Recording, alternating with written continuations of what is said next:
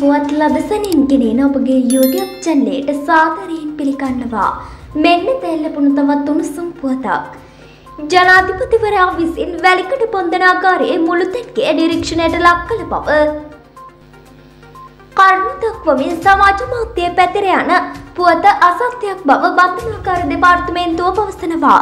ඒ අනුව සම්බන්ධයෙන් අපරාධ පරීක්ෂණ දෙපාර්තමේන්තුවේ පරිගණක අපරාධ විමර්ශන කොට්ටාසේ වෙත මේ වන විට පැමිණිලි කර ඇති බවයි මාධ්‍ය බන්ධනාකාර මාධ්‍ය ප්‍රකාශක ගාමිණී බී දිසානායක මහතා පවසා සිටියේ.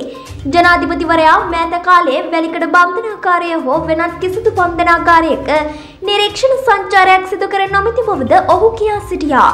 බන්ධනාකාරය තුළ පටිගත කිරීමක් හෝ දර්ශන ලබා ගන්නේ නම් ඒ සඳහා බන්ධනාගාර මූලස්ථානය මගින් විශේෂ අවසරයක් ලබා ගත යුතු වෙනවා.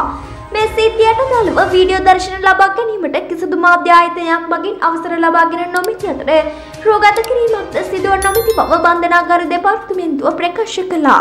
මෙවැනි උණුසුම් පුවත් ලදසනින් දැන ගැනීම සඳහා අපගේ YouTube චැනලය සබස්ක්‍රයිබ් කර බෙල් අයිකනය ක්‍රියාත්මක කරන්න. ඔබට සුබ දවසක්.